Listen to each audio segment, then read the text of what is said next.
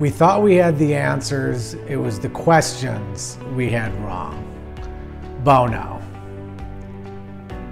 Make sure you're not asking the questions that are going to solve 2019's problems, but asking the questions that are going to solve 2023's problems.